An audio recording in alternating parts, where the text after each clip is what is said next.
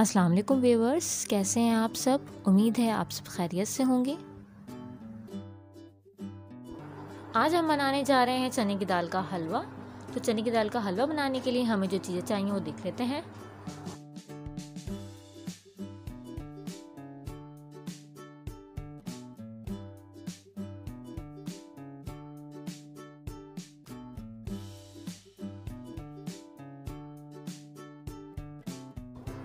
मैंने यहाँ पर ली है एक पाव चने की दाल, यानी 250 ग्राम मैंने चने की दाल ली है, जिसको मैंने चार घंटे पहले भिगो दिया था।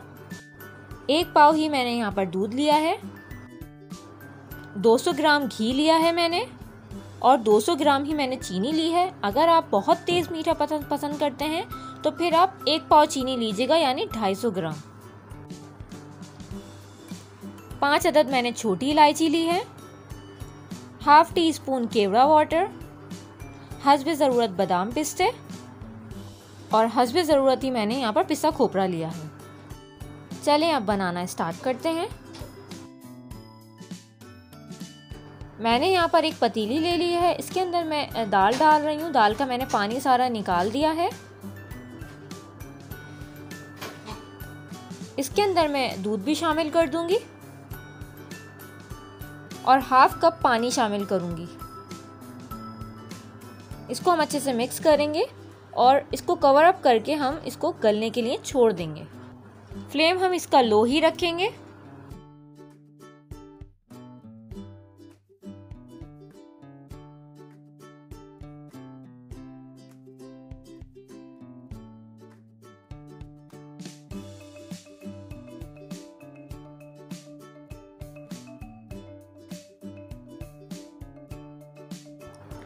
बीच बीच में हम इसको चेक करते जाएँगे।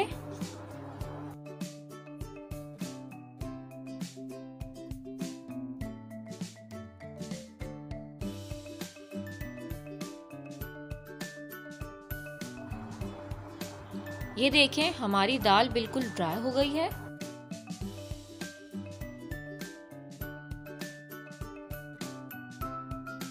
अब हम दाल को चेक कर लेंगे। ये देखें, दाल हमारी अच्छे से गल चुकी है। अब हम लो फ्लेम करके इस दाल को इसी स्पून से पीस लेंगे। बिल्कुल घोट देंगे इसको। अगर आप चाहें तो इसको थोड़ा सा ठंडा करके चॉपर में भी पीस सकते हैं, या फिर आप इसको सिल पर भी पीस सकते हैं। तो आप जिस तरह से चाहें इसको पीस लें।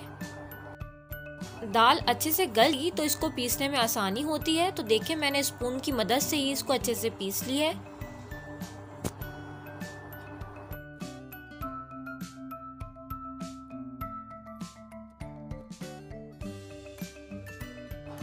अब मैं इसका फ्लेम बंद कर दूँगी। अब हम चलते हैं आगे के प्रोसेस की तरफ़। देखिए, मैंने यहाँ पर एक कढ़ाई ले ली है। इसमें मैं घी डाल रही हूँ। घी हम आधा शामिल करेंगे, यानी 100 ग्राम। जब हमारा घी गर्म हो जाएगा तो मैं इसके अंदर डाल रही हूँ इलायची। इलायची को देखिए, हम इस तरह से इसका मुँह खोल के डालेंगे। एक मिनट चलाने के बाद हम इसके अंदर शामिल करेंगे चीनी। और चीनी के साथ ही हम इसके अंदर आधा कप पानी डाल देंगे। और फिर इसको हम अच्छे से मिक्स करेंगे जब तक कि हमारी चीनी मिक्स नहीं हो जाती। जब चीनी मिक्स हो जाएगी तो हम इस शीरे को पाँच मिनट तक पकाएँगे।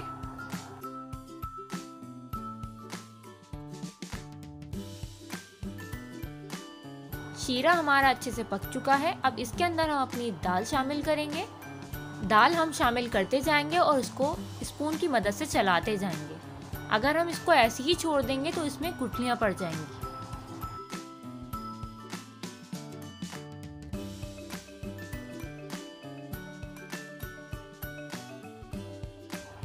थोड़ा थोड़ा करके हम डाल रहे हैं और मिक्स करते जा रहे हैं। ये देखें, अच्छे से ये मिक्स हो चुका है। अब इसको हम मीडियम फ्लेम पे पकाएँगे। स्पून हम चलाते रहेंगे। अगर हम स्पून को नहीं चलाएँगे तो ये हलवा जो है हमारा नीचे से लग सकता है। तो इसलिए इसके बाद हम इसमें स्पून चलाते जाएँगे।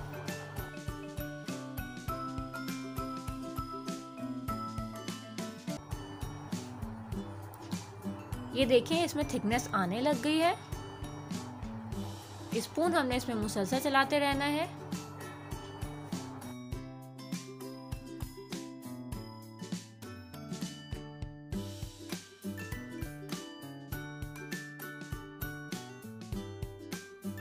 अब जो हमारा घी बचा हुआ है, हम इसको थोड़ा थोड़ा करके शामिल करेंगे। देखें, थोड़ा सा मैंने शामिल और कर दिया है।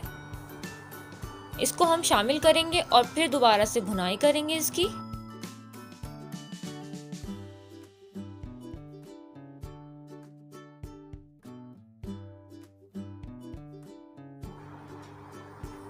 अब मैं इसके अंदर थोड़ा सा जर्दे का रंग शामिल कर रही हूँ।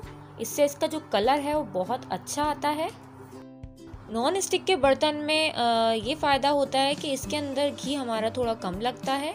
अगर आप यही सिल्वर के बर्तन में बनाएँगे तो हो सकता है आपका 200 ग्राम से ज़्यादा घी लग जाए, क्योंकि उसमें लगता बहुत है नीचे से। इसलिए आपको घी डाल डाल के उसको भूनना पड़ता है। जितना हम इसको भूनेंगे, इसका टेस्ट उतना ही अच्छा आता है।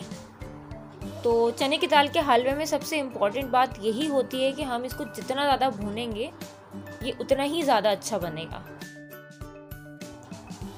ये देखें, मेरे पास जो घी बच गया था, वो भी मैंने इसके अंदर डाल दिया है।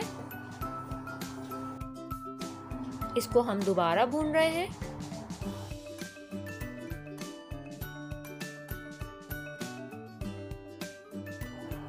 ये देखें, हमारा हलवा रेडी हो चुका है। अब मैं इसका फ्लेम ऑफ़ कर रही हूँ। अब मैं इसके अंदर डाल रही हूँ केवड़ा फ्लेम ऑफ़ करके। और इसको मिक्स करेंगे। आप चाहें तो इसको ऐसे भी सर्व कर सकते हैं, लेकिन मैं इसकी बनाऊँगी कतलियाँ। तो देखें मैं किस तरह से करती हूँ। मैंने एक ट्रे ले ली है, जिसके अंदर मैं अपनी कतलियों को जमाऊँगी। इसको मैं घी से ग्रीस कर रही हूँ।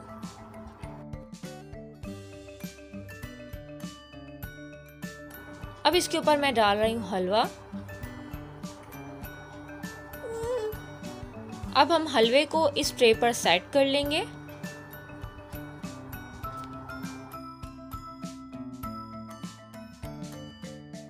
अब हम हलवे के ऊपर डालेंगे बादाम पिस्ते।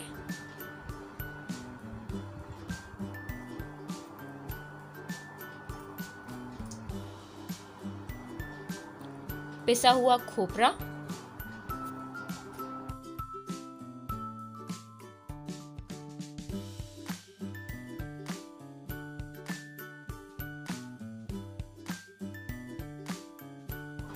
अब हम स्पून की मदद से इसको हल्के हल्के हाथों से प्रेस करेंगे ताकि जो बादाम पिस्ते हैं, खोपरा है, अच्छे से इस हलवे के ऊपर चिपक जाए।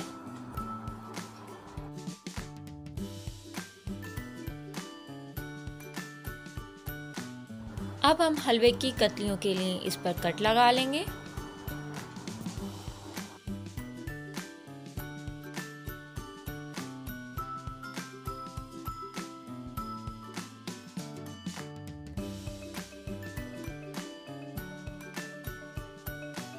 कट लगाने के बाद हम इसको तीन से चार घंटे के लिए पंखे के नीचे रख देंगे, किसी जाली या कपड़े से ढककर, ताकि इसकी कतलियाँ अच्छे से हमारी सेट हो जाए। ये देखिए, चार घंटे हो चुके हैं। हमारा हलवा जो है अच्छे से सेट हो चुका है। मैंने यहाँ पर एक ट्रे ली है, जिसमें मैंने खोलता हुआ पानी डाला है। इसके ऊपर मैं ये ट्रे रख रही हूँ, ताकि नीचे से इसको हीट मिले तो हमारा हलवा जो है बिना टूटे बाहर निकल जाए। ये देखें, हमारे हलवे की कतलियाँ रेडी हो चुकी हैं। अब हम सर्विंग प्लेट में निकाल लेते हैं इनको। तो ये देखें, तैयार है हमारा मज़ेदार सा चने की दाल का हलवा, जिसको हम एक महीने तक फ्रिज में स्टोर कर सकते हैं। एक महीने तक आप इसको रख के खा सकते हैं। तो अगर आपको मेरी वीडियो अच्छी लगे तो मेरे चैनल को लाइक सब्सक्राइब और शेयर ज़रूर कीजिएगा। और बेल आइकन को प्रेस करना मत भूलिएगा। मिलती हूँ फिर एक नई रेसिपी के साथ। तब तक के लिए अल्लाह हाफिज़।